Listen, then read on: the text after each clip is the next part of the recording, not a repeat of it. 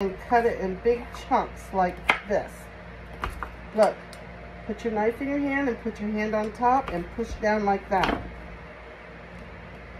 And then push them, all the chunks over here.